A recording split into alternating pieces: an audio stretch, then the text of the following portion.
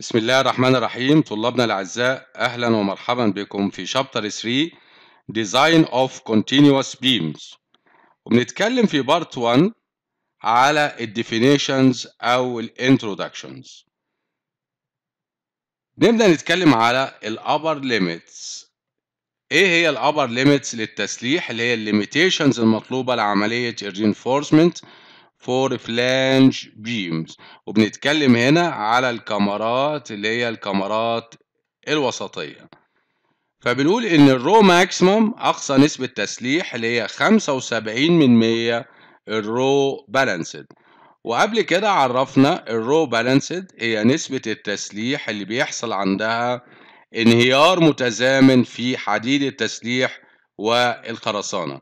بمعنى إن ال strain في ال steel بيوصل لل yield strain وال strain بتاع الخرسانة بيوصل ال ultimate اللي هو 3 من 1000 يبقى بالتالي ال rho balanced اللي هي عبارة عن ال area steel balanced على ال b web اللي هو الويب اللي عندي العرض بتاعه b في ال d اللي هي ال depth يبقى من هنا ال area steel balanced بتساوي ال C ال total balanced على fy اللي هو ال yield strength بتاع الخرسانة. نلاحظ هنا في note مهمة جدا.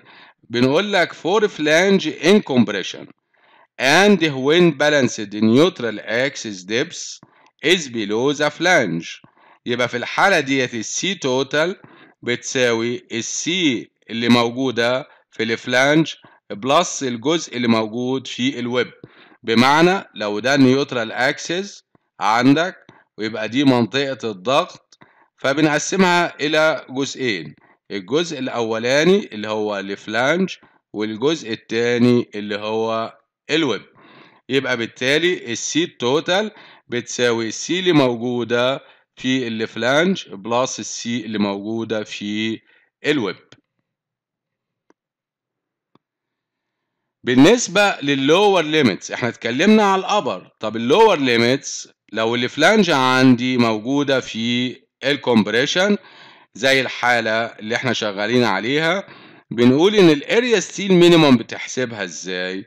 بنقول هي القيمة الأكبر من القيمتين دول اللي هما 3 جذر fc dash اللي هي مقاومة الضغط على fy في b web في ال d اللي هي ال dimensions بتاعة القطاع أو 200 على fy في ال b web في ال d وبناخد القيمة الأكبر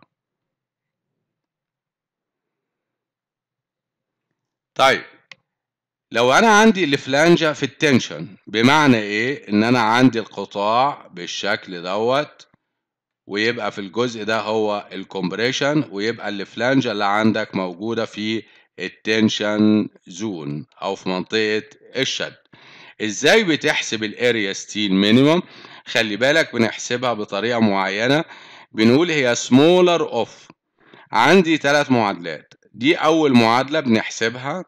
في معادلتين تانيين اللي هما 3 جذر fc dash على fy في ال b effective في ال d المعادلة الثانية اللي هي 200 على fy في ال b effective في ال d بنحسب المعادلتين دول ناخد القيمة الأكبر منهم. ونقارنها مع القيمة اللي موجودة هنا وناخد القيمة اللي هي ال smaller value يبقى انت كده حسبت ال lower limit في حالة الفلانجة اللي عندك موجودة في ال tension zone طب ال lower limit بنقول لو ال area steel provided اللي انت اخترتها اللي هي ال actual اللي هتحطها في القطاع أكبر من أو يساوي 4 على 3 ال area steel required الكلام ده معناه إيه؟ أنا حسبت ال area steel required دي من المعادلة. اخترت حديد بطريقة معينة. الحديد دوت ليه مساحة؟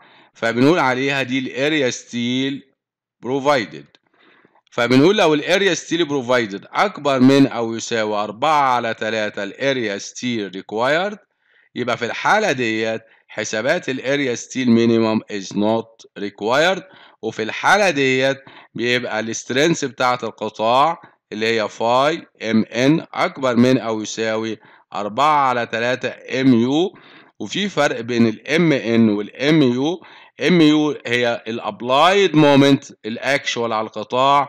Mn هي ال strength بتاعة القطاع نتيجة الدايمنشن ونتيجة حديد التسليح.